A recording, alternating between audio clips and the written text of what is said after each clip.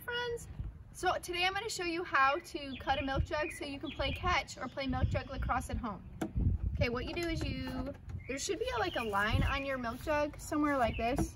And all you do is you cut the bottom off and try to make it so that it doesn't have any like plastic things sticking out where you could get hurt. And then you have your milk jug so that you can play catch with or play lacrosse. Cut out your milk jug, get a tennis ball, and find some family members and you can play catch. You can see how many catches that you can make before the ball drops. Ready? Yep. And I've got Fisher and William Knerr helping me today.